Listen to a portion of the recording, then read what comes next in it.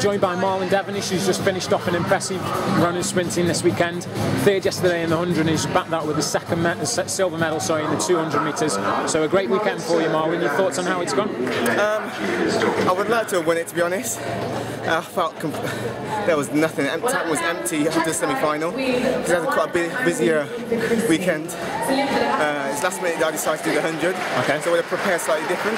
But having said that, I'm quite happy. I'm okay with that. Sure. Okay. How talk about the weekend as a whole? Because I argue like the 100 yesterday, the 200. Is it? Do you see it as a training emphasis? Obviously, getting prepped for these championships, or is it, do you feel you run better in the 200 after coming back off the rounds yesterday in the 100? To be honest, I feel a bit flat. Okay. A bit, and um, I wasn't as prepared as I could have been. Uh, to be honest, but I was happy that I still, under the three races I had yesterday, was still coming home quite strong. And my strength is very good. I can't, I can't question on my strength and my fitness, but I would like to run quicker. I need to run quicker, and the times haven't come yet. So I'm certain when I get to the champs, I'll put the times down and do what's necessary. Okay, so looking ahead now, obviously, like I say, you, you put yourself in the selectors' minds there. Yeah. What races? Because you don't have a B standard from this year, do you? Sorry, is that? No, I think I've got B standards on both the 100 and 200, but I don't have um, the A standards. But I have the A standards last year. Would you like to be picked for both? Sorry, is it, or is it one, one No, of the two? one or the other. Um, I think the selectors are probably their preference would be the 200. Sure. but I feel I can execute a really good hundred. Okay. And the adaptation of this of this uh, weekend will only um, pay dividends.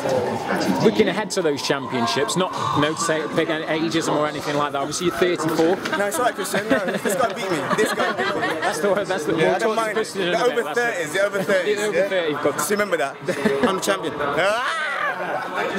Well, that's what. it's- How much do you think? Obviously, your experience going into those championships, because there's no Usain Bolt who's going to be setting world records. He's Yeah, going to be ones around about the probably low 20s, Yeah. which I'm thinking you're probably more than capable of. Yeah. How much does your experience over the years think go into those championships? Yeah, I can get him get a medal for GB. Oh, well, I've, I've medalled for the last four years ago. I medalled four years ago before. So the focus is to just to use my experience, use it to my advantage. You know, everyone uses use your strengths to your advantages. So that's what I'm going to do.